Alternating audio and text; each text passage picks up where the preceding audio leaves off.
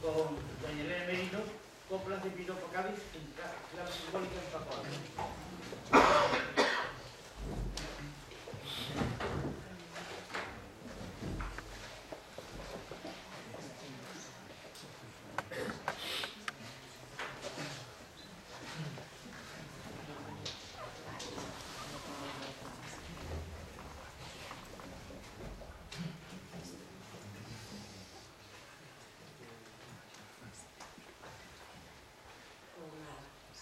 sí, se escucha. Buenos días y muchas gracias por, por, estar aquí. También agradezco mucho a la comisión por haber aceptado mi, mi comunicación. Y bueno, eh, voy a cambiar bastante el enfoque con respecto a lo que han estado comentando los compañeros anteriores. Eh, no voy a hablar de historia, no voy a hablar de, de elementos de la vida de Paco Alba, yo me voy a centrar exclusivamente en las coplas y bueno, un poco el objetivo de mi comunicación, en primer lugar, es acotar claramente el objeto de estudio con el que estoy trabajando, explicar un modelo de análisis, hacer una propuesta, ejemplificar con las coplas de Paco Alba y lanzar algunas conclusiones para que entre todos reflexionemos sobre esta posibilidad.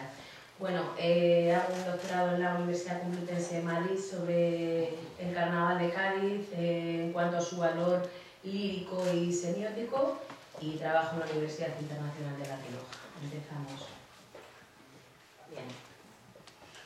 Bien, mi objeto de estudio es el carnaval en minúsculas, el carnaval como género, que es una de las ideas fundamentales de, del trabajo de María Luisa Páramo, es decir, el carnaval por un lado tendríamos eh, la fiesta popular y por otro tenemos un género que se compone de una cantidad de códigos yuxtapuestos, entre ellos las coplas, el tipo, la música y otros que ya conocéis. Y las coplas, eh, hay varios autores, que ahora tampoco me voy a poner a enumerar, pero se consideran por muchos autores eh, como el rasgo más idiosincrásico y propio del carnaval de, del carnaval de Cádiz. Vale, em, ¿en qué me he centrado para, para este pequeño estudio? Mm, desde mis primeros carnavales aquí en Cádiz me llamó mucho la atención que había un tipo de, un tipo de coplas en las cuales yo entendía que se estaba hablando de Cádiz, pero en realidad no se estaba hablando de Cádiz. Tenía la sensación de que se estaba hablando de, de algo más, ¿no? Estas coplas de alabanza que dice Fernando Quiñones, que enumera como uno de los temas cuando habla del carnaval de Cádiz, por ejemplo. Entonces, he cogido este tipo de coplas en Paco Alba y propongo un esquema de, para entenderlas, ¿no? Serían las, el tema sería el piropo a Cádiz, el propósito, cantarle a la ciudad, porque el objetivo es cantarle a la ciudad.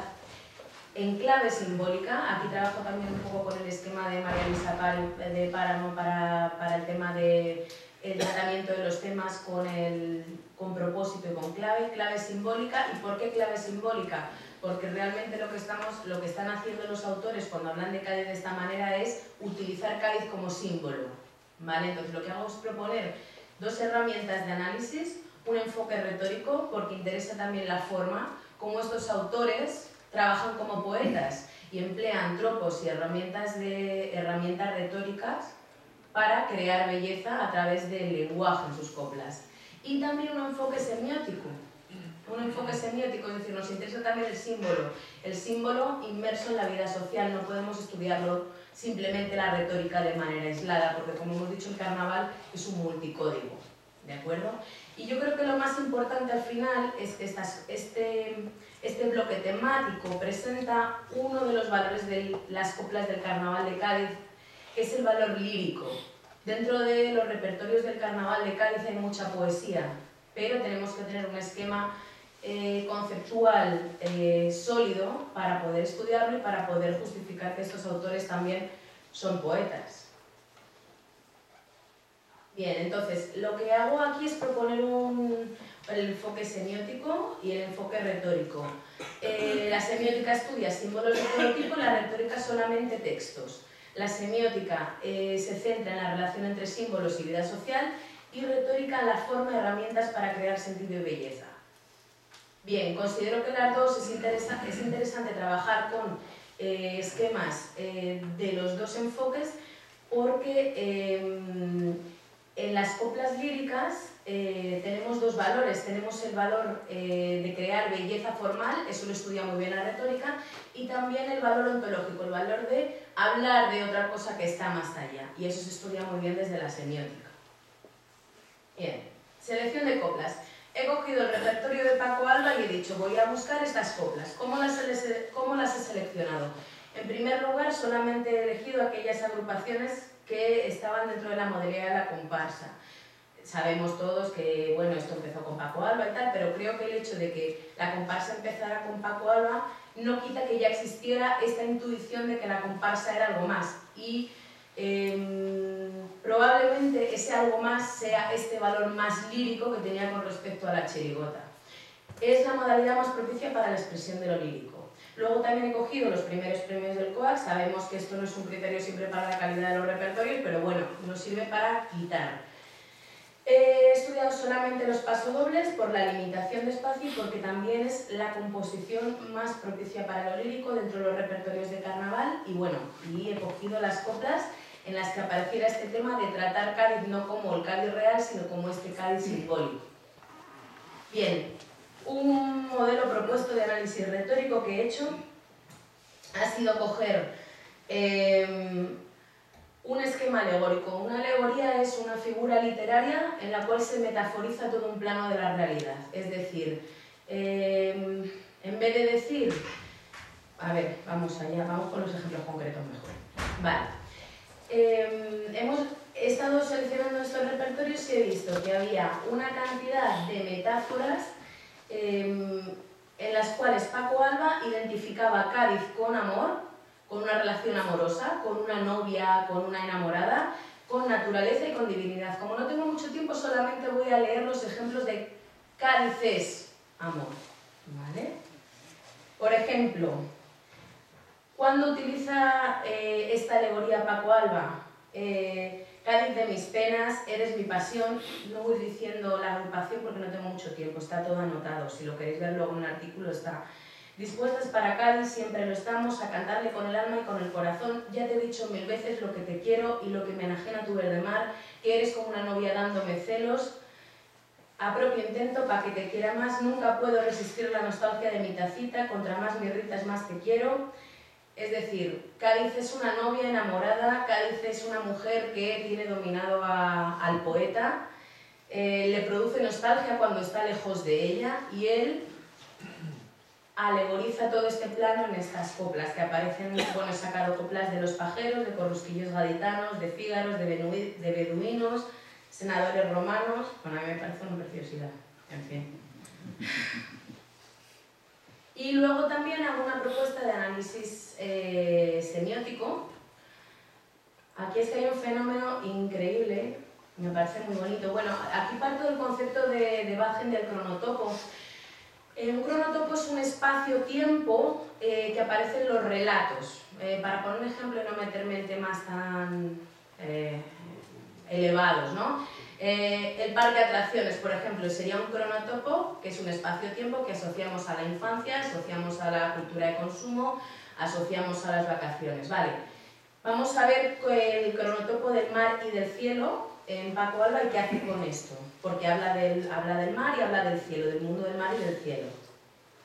Vale, eh, lo que he dicho, el cronotopo es un tiempo-espacio con un carácter concreto y sensible y un valor figurativo y en los relatos aparecen configuraciones cronotópicas, es decir, diferentes concepciones sobre el tiempo. En este caso, en este tipo de, de coplas, se plasma una concepción cíclica del tiempo. El tiempo se detiene y aparece como un tiempo mítico y también se genera un efecto localista.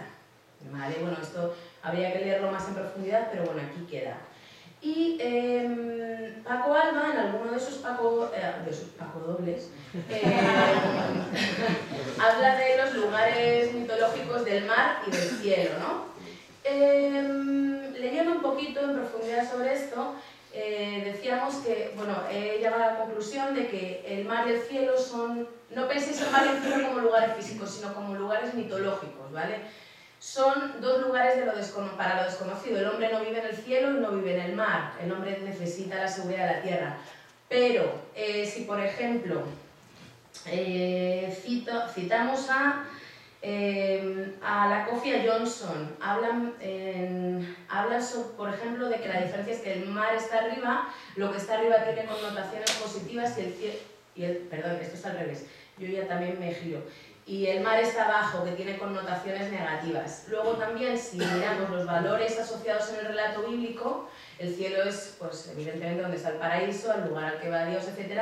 El mar también está asociado a elementos negativos, como em, el diluvio universal y demás. ¿Qué es lo que hace Paco Alba en su repertorio? Desenmascara al cielo y le da al mar ese lugar privilegiado en el relato mitológico. Dice, el cielo no es el lugar en el que habitan las maravillas celestiales. Primero se tienen que reflejar en nuestro mar, porque si no, no sirven para nada. ¿no?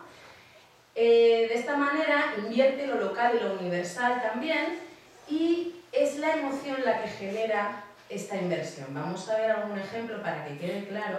No, conclusiones, no, ejemplo. Em, por ejemplo, dice, eh, no es que la luna tenga luz de plata, como nos dicen algunos poetas, es que la noche se baña en las aguas de nuestra típica y bella caleta. Eh, la luz de plata no pertenece a la luna. Si no viene aquí a la caleta a bañarse, no es nada, no existe, no va a alumbrar al resto del planeta. Entonces, bueno, este es el efecto, que es lo que está haciendo Paco Alba. Aquí lo de arriba está abajo, al final es carnaval, ¿no? Es la inversión del carnaval, pero en un recurso concreto. Bien, conclusiones. Necesidad de estudiar las coplas con valor lírico. En eso estoy. Interés por discernir los rasgos de la lírica carnavalesca. El carnaval, las coplas del carnaval tienen un valor poético. Y el interés por aplicar estos rasgos para confeccionar mapas del mundo poético de los autores. Hay estudios sobre el mundo poético de Rafael Alberti, de mm, de Fernando Quiñones, de todos los poetas gaditanos. Vamos a ver si se puede comparar a estos poetas con los poetas de carnaval.